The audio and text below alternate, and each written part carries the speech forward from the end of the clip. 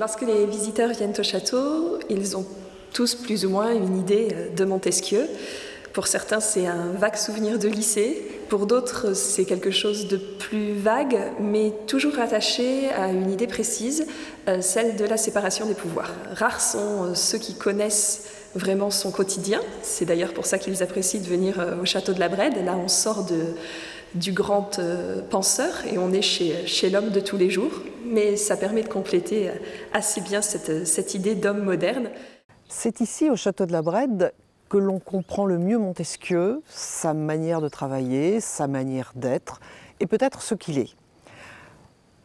Il a hérité de ce château par sa mère, et il y a vécu une partie de sa vie. Il a aussi vécu à Paris, il a aussi vécu à Bordeaux, il vit chez son frère à Bordeaux. Et ici, en fait, il se retrouve, il retrouve ses livres, et c'est avec ces livres que l'on a en quelque sorte la clé de son travail. Évidemment, toute son inspiration ne se trouve pas dans les livres, et il ne serait pas Montesquieu s'il n'avait pas créé euh, un certain nombre de concepts, un certain nombre d'idées, des formes, s'il n'avait pas inventé une forme de roman épistolaire, s'il n'avait pas inventé une nouvelle manière de penser la politique. Mais c'est quelqu'un qui ici trouve ce que l'on appelle aujourd'hui de manière un peu galvaudée des racines. Il est baron de la Brède et de Montesquieu. Il a d'abord été baron de la Brède. C'est là qu'il a vécu étant jeune et c'est là qu'il se met non pas en retraite, mais en retrait de la vie publique pour pouvoir créer cette œuvre qui fait de lui donc un des plus grands penseurs du XVIIIe siècle. Le château de la Brède, si l'on remonte à l'époque de plus ancienne occupation, on peut dire qu'il date du XIe siècle. Évidemment, ce n'est pas du tout la construction telle qu'on la voit aujourd'hui, mais le site est occupé depuis le XIe siècle et il existe encore des parties qui datent du XIVe siècle. Il y a eu d'énormes travaux au XVIe siècle. Il y en a eu d'autres au XVIIIe que Montesquieu lui-même a fait. Ces travaux sont surtout en extérieur. Aujourd'hui, on se contente évidemment de travaux de restauration. On peut découvrir tout un aspect de la vie de la Brède grâce à ces restaurations. Mais ce que nous avons ici, c'est essentiellement le cadre dans lequel Montesquieu a vécu. Nous pouvons faire abstraction de tout ce qui a été ajouté au XIXe siècle, nous pouvons retrouver véritablement son cadre de travail et de vie. La salle euh, dans laquelle nous nous trouvons actuellement est connue sous le nom de bibliothèque de Montesquieu. Il faut savoir que la fonction de bibliothèque de cette grande salle, cette vaste salle, n'apparaît finalement que sous le père de Montesquieu. C'est lui qui lui donne cette fonction. Alors récemment, nous avons, fait des découvertes derrière ces étagères et nous avons retrouvé des traces euh, d'un grand programme iconographique qui date de la fin du XVe siècle.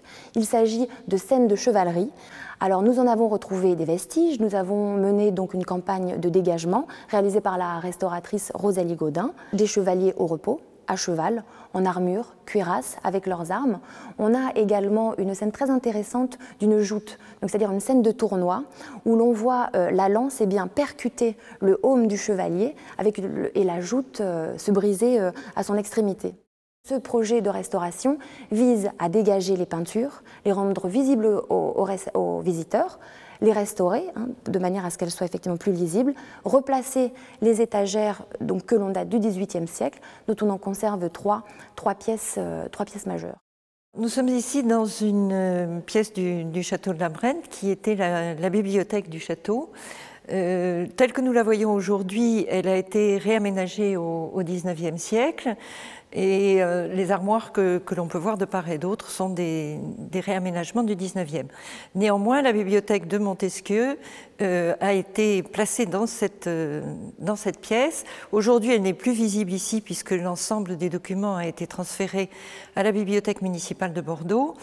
Et donc les, armoires aujourd'hui ne, contiennent plus les livres. Tout a été transféré suite à la volonté de la comtesse de Chabannes, qui était la descendante directe de Montesquieu et propriétaire du château. Cet ensemble documentaire remontait euh, assez loin dans le temps. Il y a des ouvrages du XVIe jusqu'au XXe, puisque cette bibliothèque, elle a continué à vivre, mais euh, on peut dire que la forme telle que nous l'avons prise euh, était essentiellement la forme que lui avait donnée euh, Montesquieu et dont il avait fait rédiger le catalogue. Son fils a eu à cœur aussi de constituer une bibliothèque qui, était, qui est présente dans l'ensemble des fonds et ainsi les générations euh, suivantes ont aussi poursuivi des enrichissements, mais toujours dans la ligne de la bibliothèque de Montesquieu. Il y avait eu des enrichissements, mais il y a eu aussi plusieurs ventes. Il y a eu au XIXe siècle des livres qui ont été vendus à des libraires, et puis il y a eu deux grandes ventes publiques, une en 1926 pour des imprimés, et essentiellement des imprimés du reste qui appartenaient à Montesquieu. Néanmoins, dans ce que nous avons euh, ramené à Bordeaux, il y en avait 1515 qui avaient l'ex-libris de Montesquieu, donc une forte proportion. Mais il y en avait bien davantage avant 1926. Et enfin, en 1939, il y a eu aussi une grande vente avec euh, plusieurs manuscrits tout à fait prestigieux, le manuscrit de travail de l'esprit des lois, euh, les, les pensées, euh, le spicilège, donc un recueil de, notes pris euh, sur différents imprimés, et de la correspondance.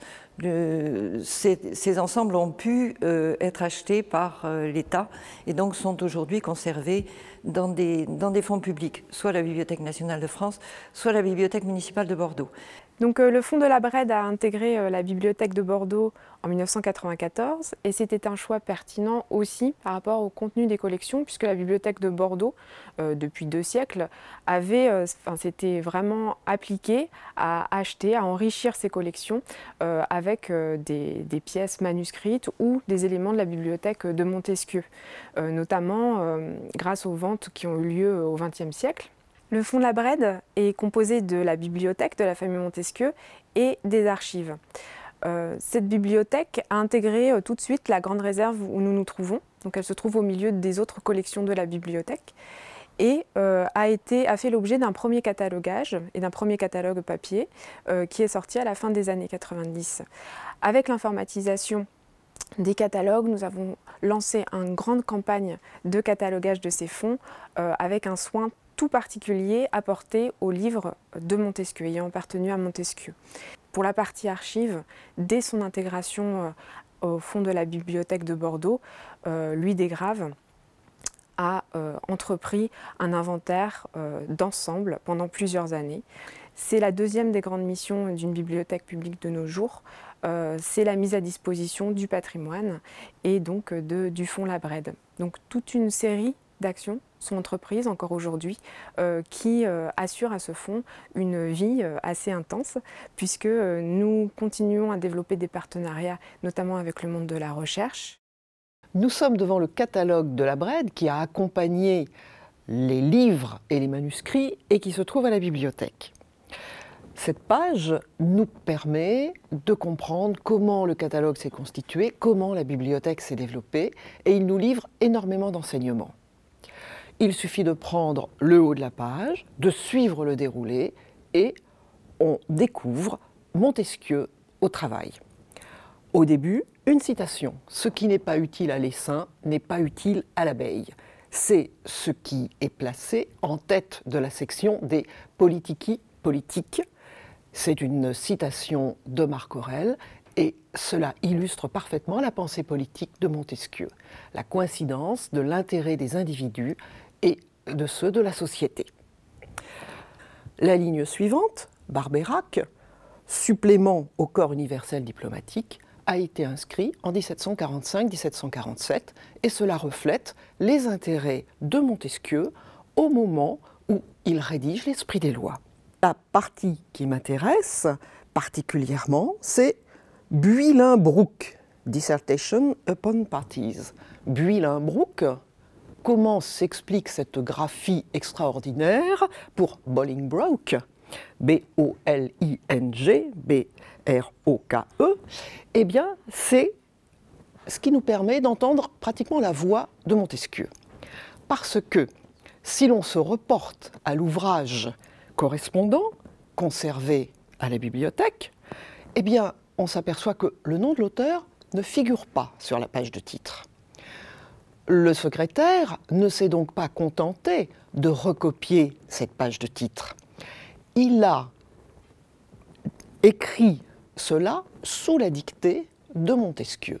Donc, nous entendons en quelque sorte, avec ce nom bizarrement autographié, la voix de Montesquieu, la manière également dont il a pu travailler à ce catalogue en dictant au secrétaire ce qu'il devait inscrire. Et donc, cette dissertation sur les parties, elle est extrêmement intéressante puisqu'elle nous révèle l'intérêt de Montesquieu que l'on connaissait déjà, mais au moins on sait exactement en quoi il consiste, sur la politique anglaise et sur cette notion qui est pratiquement étrangère à la pensée politique française, la notion de parti politique. Et donc, ce qui est aussi tout à fait émouvant, c'est lorsque l'on ouvre cet ouvrage, eh bien, c'est que l'on voit que l'ex libris, l'inscription du nom de Montesquieu sur euh, l'ouvrage, c'est de la main du même secrétaire qui a écrit entre 1741 et 1742. C'est aussi important parce que cela nous permet de savoir que ce secrétaire était bordelais, enfin qu'il vivait à la Brède. Et donc, nous saurons ainsi que tout ce qu'il a écrit dans le manuscrit de l'Esprit des lois a été écrit à la Brède.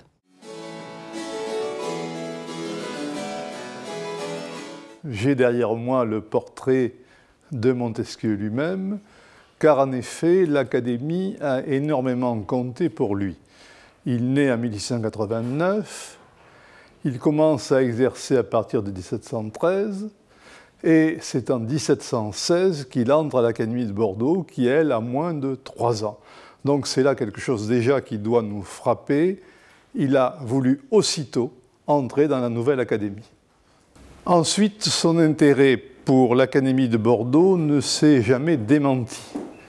Il est tout de même euh, crucial de noter que Montesquieu est à quatre reprises président de l'Académie, en 1718, en 1725, euh, en 1735 et en 1748.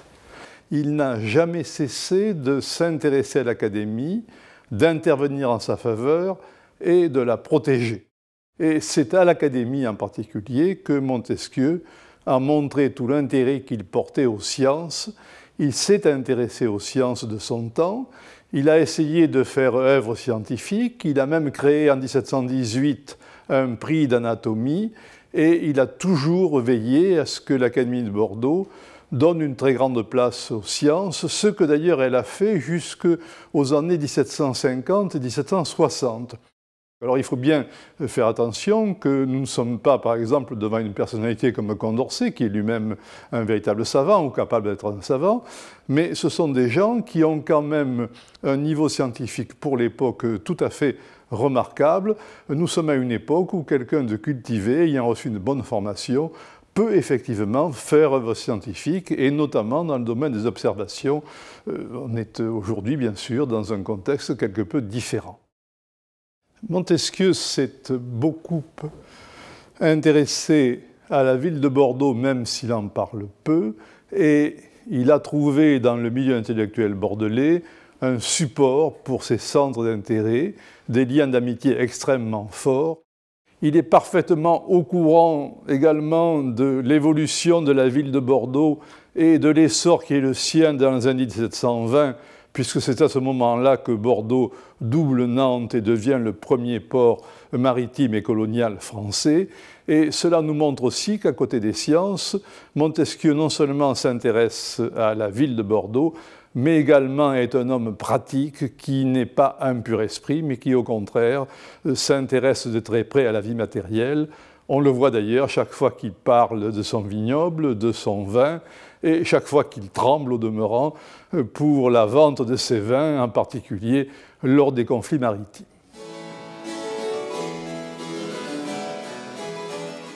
Ce qui a fait l'aspect euh, novateur et qui dure encore des lettres persanes de Montesquieu, c'est sans doute que dans les lettres persanes, on trouve plusieurs livres en un seul.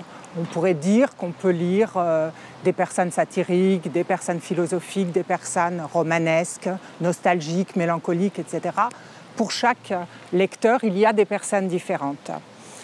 Euh, sans doute ce qui a fait d'abord euh, le succès du livre en 1721, lors de la première édition, c'est que c'est apparu comme un livre d'actualité. Ça pouvait se lire comme une sorte de journal, si on pense bien sûr au, au format des journaux de l'époque, euh, notamment au spectateur français de Marivaux qui est exactement contemporain, c'est-à-dire une sorte de euh, volume souple qui peut accueillir plusieurs matières, euh, des portraits, des débats, des réflexions philosophiques. Et donc ça a été lu d'abord comme un livre d'actualité. Quelle actualité? Il faut penser que la rédaction a eu lieu entre 1717 et 1720 moment où euh, Montesquieu euh, séjourne très largement à la Brède et où l'actualité que couvrent les lettres persanes, c'est une période qui va en fait de 1711 à 1720, c'est-à-dire la fin du règne de Louis XIV et la Régence. Et c'est ce bouleversement entre la fin du règne de Louis XIV et la Régence que retranscrivent les lettres persanes. Donc on a des débats d'actualité et des informations sur l'actualité de l'époque qui évidemment a d'abord intéressé le public. Le second aspect évidemment qui fait que c'est toujours novateur et que ça perdure euh, de nos jours, c'est évidemment le style de Montesquieu, c'est-à-dire qu'au-delà d'une matière, c'est aussi une manière. Cette manière, c'est une manière satirique, c'est ce qui a d'abord évidemment euh, plu hein, aussi et qui continue à, faire qu'on lit les lettres persanes euh, à l'école, hein, par exemple. ce sont ces lettres extrêmement mordantes, très célèbres, sur le roi, sur le pape, mais aussi au détour de lettres, des portraits satiriques à la manière de la bruyère. L'intérêt principal du point de vue euh, de ce procédé satirique littéraire, c'est évidemment ce qui l'a rendu célèbre, le regard perçant, euh, c'est-à-dire ce procédé qui consiste à feindre qu'on ne connaît pas une situation, à créer une distance, puisque c'est évidemment l'histoire de deux persans, Rika et Uzbek, qui arrivent dans la société française et font des commentaires sur la société française. Donc euh, cette distance amenée par un regard étranger qui fait découvrir euh, d'un œil nouveau, qui crée de la surprise et qui crée des contrastes, ce qui permet évidemment de rendre euh, la société, les, euh, descriptions euh, beaucoup plus vives. Et surtout, ça a un intérêt philosophique, ce procédé persan, puisque ça permet justement de faire surgir le préjugé avec un œil nouveau. On découvre d'un œil nouveau ce qui nous paraissait relever d'une nature, d'être faire partie, et on nous montre que ce n'est pas une nature, mais c'est une culture, c'est un fait de civilisation, et donc par exemple, le phénomène du calque qui est assez connu, c'est-à-dire qu'à la place de dire la Bible, on dit l'Alcoran, on dit Al-Coran pour Coran, ou bien à la place de dire une église, on dit une mosquée, à la place de dire un abbé, on dit un derviche, etc., euh, ou un mufti. Euh, ce procédé-là donne à penser la religion en France, non pas comme un fait de nature, mais bien comme un fait de civilisation. Et donc ça amène évidemment l'autre point euh, essentiel qui fait que c'est un livre que quelqu'un qu'actuellement on lit aussi comme un livre philosophique, puisque les lettres persanes sont aussi beaucoup, essentiellement en profondeur, une réflexion politique sur le despotisme et sur le pouvoir politique. Alors, Qu'est-ce qui fait que c'est une réflexion sur le despotisme? C'est bien sûr qu'on a un certain nombre de lettres qui sont des lettres politiques ou des lettres religieuses. La grande lettre 85 sur euh, la nécessité d'avoir plusieurs religions euh, dans un État. Mais aussi, euh, c'est une manière de monter en parallèle la société française, la cour et la société du sérail, de les montrer en miroir et non pas seulement donc de dénoncer un despotisme oriental, mais de montrer avec ce parallèle que sous la monarchie française, il y a aussi un risque de despotisme, c'est-à-dire qu'il y a aussi un despotisme occidental qui se dissimule euh, dans la société française. Il y a euh, une lettre euh, très importante, la lettre 9 du Grand Eunuque, qui est une très belle lettre, où il montre justement quelle jouissance il tire du pouvoir, une satisfaction secrète, dit-il, de se faire obéir, avec cette phrase assez marquante où il dit ⁇ Quand je les prive de tout, il me semble que c'est pour moi ⁇ Hein, ce qui montre bien évidemment le ressort secret du pouvoir. Et on a pu dire, hein, ce qui est tout à fait juste, que la réflexion politique des lettres persanes était aussi une réflexion qui mettait en parallèle une érotique et une politique. Hein, puisqu'au fond, de chaque euh, désir de pouvoir, ce qu'on appelait avant la libido dominendi, au fond de chaque désir de pouvoir, il y a du désir, et donc il y a bien un ressort pulsionnel, érotique dans le pouvoir, ce que met au jour hein, très bien euh, les lettres persanes. L'intelligence du roman, c'est précisément de faire coïncider les deux. C'est-à-dire qu'au moment où Uzbek apparaît comme porteur des valeurs de l'Occident et d'une raison euh, éclairée, en même temps fait retour sur cette raison éclairée la réalité qui est qu'il est un tyran pour le sérail, qu'il est un tyran. Et donc, on reste à la fin du roman avec cette béance et cette interrogation ouverte. À quelles conditions peut-on obtenir un gouvernement modéré dans la mesure où le porteur de la philosophie nouvelle, éclairée, est en même temps, n'a pas réussi à faire retour sur lui-même et est en même temps un tyran. Donc ça, c'est l'intelligence vraiment de la machine romanesque qui permet ça. Et j'ajouterais, pour élargir un peu euh, euh, aux autres œuvres de fiction de Montesquieu, parce qu'il n'a pas écrit que les lettres persanes, même si c'est sans, aucun doute son chef-d'œuvre le plus incontesté. Il a écrit des contes orientaux. Euh, il y a d'ailleurs un conte oriental qui est inséré dans les lettres persanes, qui est le conte d'Anaïs et d'Ibrahim, et euh, le procédé, le dispositif qu'il met dans le conte d'Anaïs et d'Ibrahim est quelque chose qu'on retrouve dans deux euh, autres de ces contes orientaux. Il y a l'histoire véritable, dont on a le manuscrit à la bibliothèque, de même que Arzas et Isménie, dont on a aussi le manuscrit à la bibliothèque. Euh, ces deux contes-là procèdent un peu comme le conte inséré d'Anaïs et Ibrahim, c'est-à-dire font passer par une expérimentation qui est une expérimentation du retournement, c'est-à-dire on a une inversion des rôles. Il faut qu'on ait un détour par la fiction pour que le, la pensée politique puisse advenir. Donc c'est en ce sens-là que Montesquieu écrivain et Montesquieu politique sont intimement liés. Hein. et euh, il y a à la fin de l'Esprit des lois, pas à la fin de l'Esprit des lois, à la fin du livre 11 de l'Esprit des lois, un très grand livre. Euh, il euh, achève euh, le, livre 11 en disant qu'il ne faut pas toujours tellement épuiser un sujet, qu'on ne laisse rien à faire au lecteur. Et il dit qu'il ne s'agit pas de faire lire, mais de faire penser. Et les, et les lettres persanes, c'est vraiment un instrument à penser. Et penser, c'est à la fois par l'écriture et évidemment par l'aspect philosophique que ça peut avoir. C'est à la Brède que l'on prend conscience de la manière dont pouvait travailler Montesquieu et que l'on comprend pourquoi il est si attaché à ce lieu. C'est là qu'est rassemblée une bibliothèque immense, tout à fait exceptionnelle pour son temps, une bibliothèque qui lui permet de prendre connaissance de tout ce que l'on peut savoir de son temps sur les peuples de euh, tous les lieux du globe et à toutes les époques. Il en a fait d'ailleurs des extraits, par exemple les Geographica. Il a fait beaucoup d'extraits dont la plupart sont perdus, mais dont certains sont encore conservés à la bibliothèque de Bordeaux.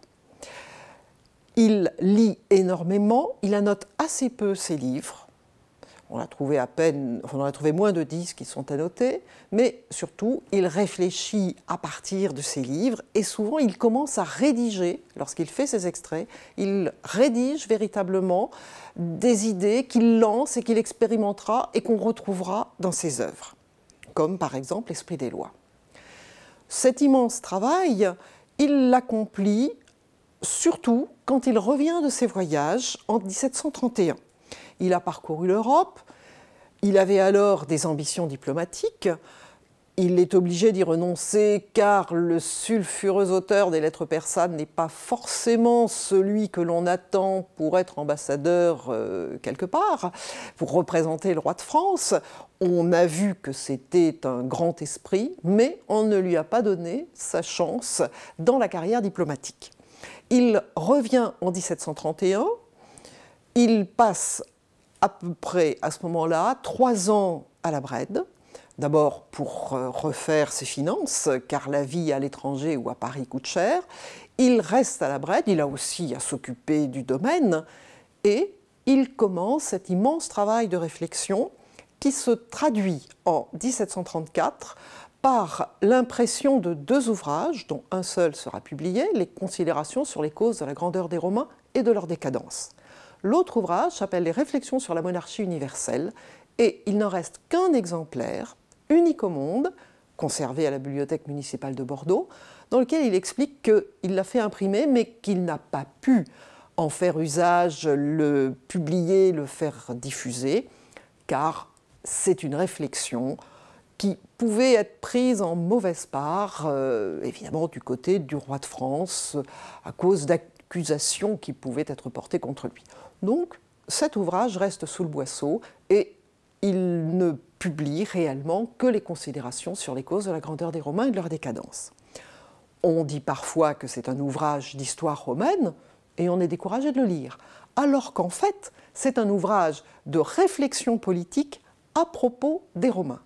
Montesquieu prend un exemple, et non des moindres, euh, huit siècles avant Jésus-Christ et 15 siècles après, puisque à l'époque de Montesquieu, les Romains, c'est l'Empire romain d'Occident et l'Empire romain d'Orient, c'est-à-dire celui qui s'achève avec la chute de Constantinople.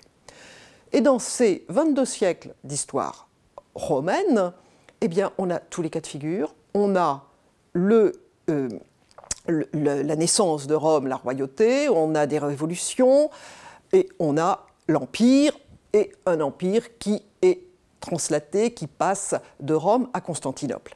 Mais véritablement, le noyau de cette histoire, c'est le passage de la République à l'Empire, avec César, Auguste, et après, donc, on a toute la suite des Césars.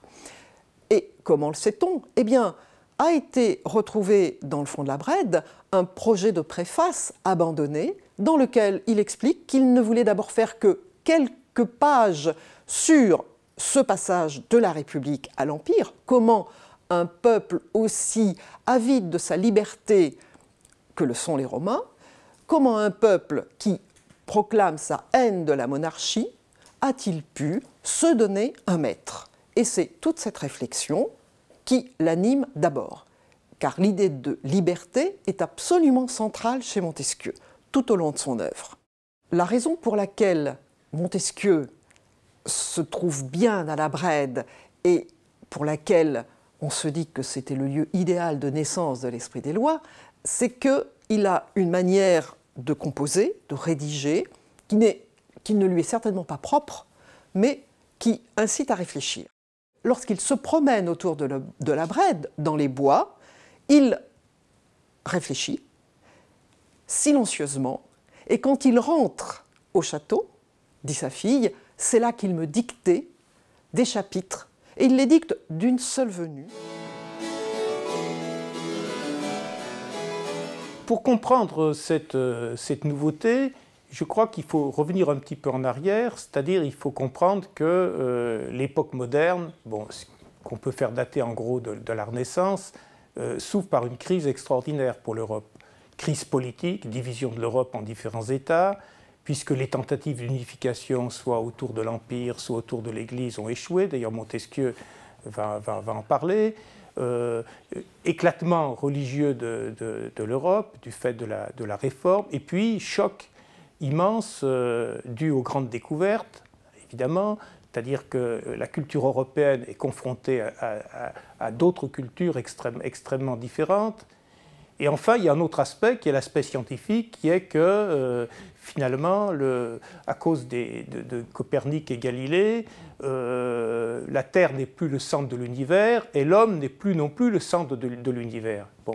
Et la réponse la plus immédiate sur le plan intellectuel et philosophique à cette crise, c'était euh, le, renouveau du scepticisme, dont Montaigne en particulier est, l'exemple le plus éminent, c'est-à-dire au fond euh, euh, les, principes universels qui existaient auparavant sont remis en question, tout devient relatif, on, se refuse de porter un jugement de valeur sur les institutions, ce qui convient pour tel pays ne convient pas pour tel autre, etc. etc.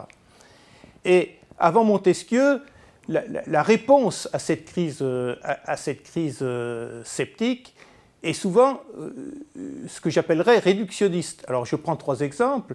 L'invention du droit naturel moderne par, par Grotius, c'est-à-dire qui définit finalement des règles juridiques et morales minimum sur lesquelles tout le monde peut s'accorder dans cet état de dissensus qui était celui de, l'Europe. Et puis aussi principe dit découverte par Baudin d'un principe euh, politique minimum, c'est-à-dire euh, au fond un État doit être souverain, souverain pour pouvoir assurer, assurer à, son peuple un minimum de, sécurité.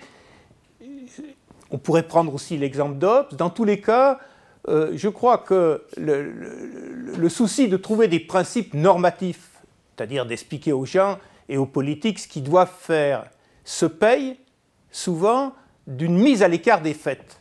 Et je crois que la révolution de Montesquieu, euh, dans son souci euh, de découvrir la, cohérence entre un régime donné et ses conditions d'existence, euh, ce qui caractérise Montesquieu, c'est précisément le refus de dire le droit ou de dire les normes à l'écart des faits. Et ça, c'est extrêmement, à mon avis, nouveau par rapport à tout ce qui s'était passé auparavant. Il y a peut-être un précédent dans l'Antiquité qui serait le précédent des politiques d'Aristote, mais Aristote, évidemment, euh, travaillait avec un matériel empirique qui n'avait rien à voir avec celui de Montesquieu, puisque les régimes qu'il compare, c'est essentiellement les régimes des cités grecques de son époque. Ils sont nombreux, mais enfin, ça n'a rien à voir avec l'ampleur du matériel euh, empirique et historique euh, que Montesquieu essaye de penser, de compenser et, de composer dans un seul système. Donc nous sommes ici à la bibliothèque de l'Arsenal et plus précisément dans un salon de musique et nous avons derrière nous un certain nombre d'ouvrages de Montesquieu euh, qui ont été conservés ici dans la bibliothèque de M. d'Argenson. La parution de l'Esprit des lois en 1748 à Genève sans nom d'auteur suscite un véritable tremblement de terre en Europe. L'élite parisienne s'en empare. La plupart considère qu'il s'agit là d'une véritable merveille, d'un ouvrage extraordinaire de politique. Mais il y a aussi de très très virulentes critiques. Certains, comme Dupin, vont en quelque sorte proposer une critique intitulée Réflexion de l'esprit des lois, qui va apparaître en 1749, et ensuite la censure ecclésiastique va s'en mêler. Et face à ces critiques, Montesquieu va se sentir en quelque sorte sommé de répondre. Euh, il va répondre par une défense de l'esprit des lois qui va euh, paraître en 1750. Et euh, dans cette défense, qui est un chef-d'œuvre d'ironie, Montesquieu va se donner à cœur joie, sans jamais se rétracter complètement. Il va se montrer extrêmement féroce à l'égard de ses critiques. Hein, je peux donner simplement un exemple. Montesquieu est accusé d'être sectateur de la religion naturelle. Il dit qu'il aurait aimé que son critique soit sectateur de la logique naturelle, euh, de telle sorte qu'il disons qu'il puisse apprécier son ouvrage à sa juste valeur. Ces critiques vont être suivies encore d'autres critiques ecclésiastiques. Il y a un projet de, censure hein, euh, de l'université euh, de théologie de la Sorbonne, qui en réalité ne sera jamais publié. Projet de censure qui porte là aussi sur 17 propositions, dont la première, et c'est significatif, est l'idée selon laquelle le climat est le premier de tous les empires. Alors cette idée que ce ne soit pas la religion qui gouverne le monde, mais d'abord le climat, même si en réalité ce n'est pas tout à fait l'idée de Montesquieu, est une idée extrêmement choquante, extrêmement scandaleuse à l'époque. La censure ecclésiastique ne s'est pas contentée de stigmatiser les propositions concernant la tolérance religieuse ou le fait que le christianisme ne, pourrait pas s'étendre à l'échelle du monde, propositions qui effectivement hein, étaient extrêmement subversives. La censure religieuse s'est également intéressée à ce que Montesquieu disait de la politique et en particulier de la monarchie. Et une proposition a retenu l'attention des censeurs, à la fois des, euh, des jansénistes et aussi des théologiens de la Sorbonne. Cette proposition, c'est l'idée selon laquelle la vertu n'est pas le principe, c'est-à-dire la passion dominante, du gouvernement monarchique. Selon Montesquieu, en effet, c'est l'honneur et non la vertu qui permet à la monarchie de se mouvoir, de se conserver. Et en réalité, cette idée est extrêmement subversive elle aussi. Donc les théologiens n'ont pas supporté l'idée que la monarchie pouvait en quelque sorte survivre sans vertu et a fortiori sans vertu chrétienne. Ce projet, dans sa nouveauté, implique euh, une redéfinition complète de la notion de loi. Pourquoi? Parce que, au fond, avant Montesquieu, euh, le mot loi avait un sens essentiellement euh, juridique. Euh, la, loi, c'était le commandement d'un État à ses sujets, ou d'un souverain à ses sujets, ou éventuellement de Dieu aux croyants, quand on parle de loi naturelle ou de loi divine. Donc la, loi, c'était essentiellement un, contenu normatif qui impliquait le rapport d'un supérieur à un inférieur préalablement, je dirais, euh, obligé d'obéir. Même quand cette obéissance euh, était, validée par euh, le consentement préalable des individus à travers une théorie du contrat social, par exemple.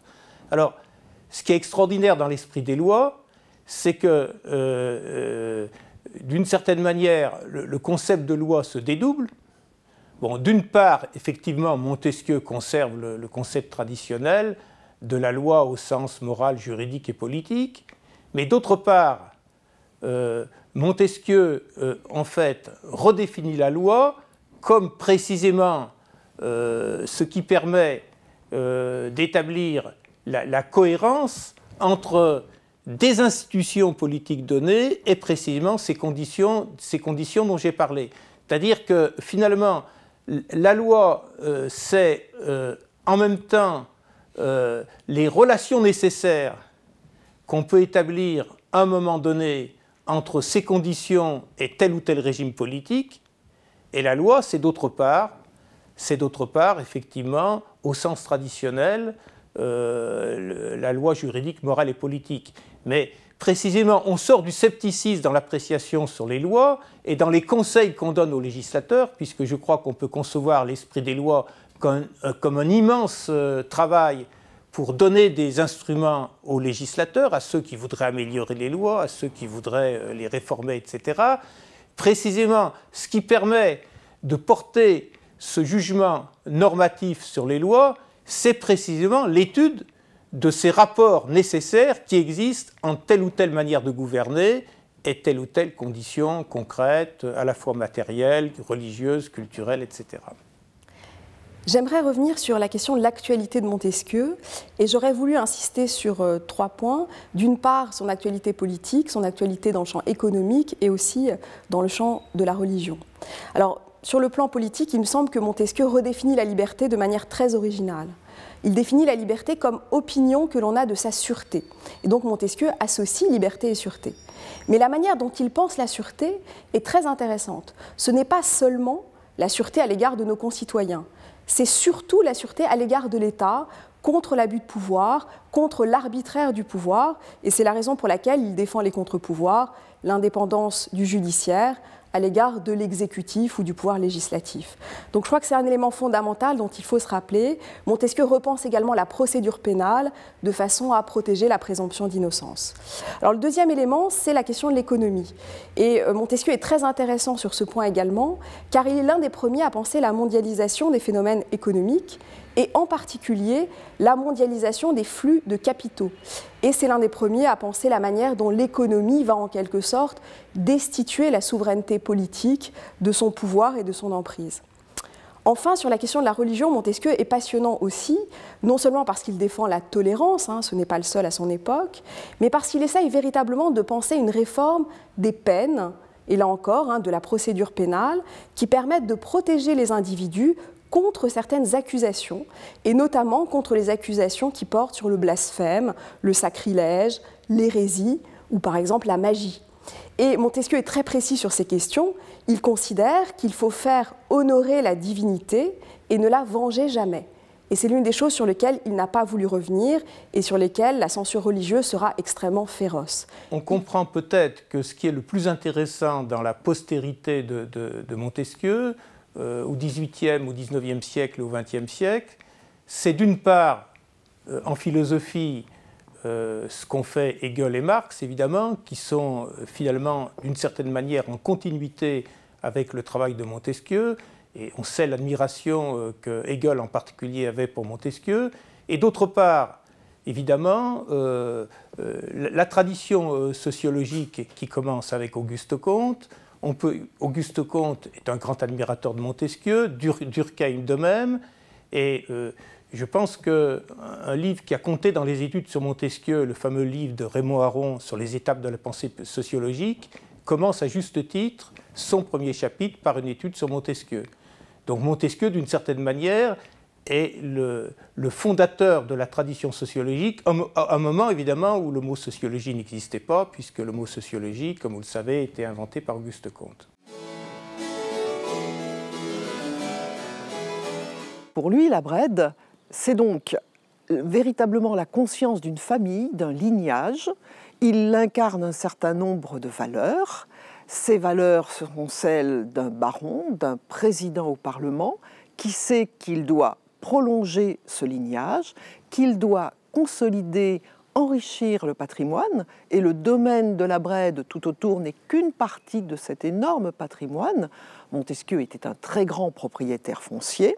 Il a très bien su mettre en valeur ses terres. Il savait pour cela qu'il fallait respecter un certain nombre de choses et il a été un propriétaire qui n'était pas commode du tout. Il exigeait tous les droits qui lui étaient dus.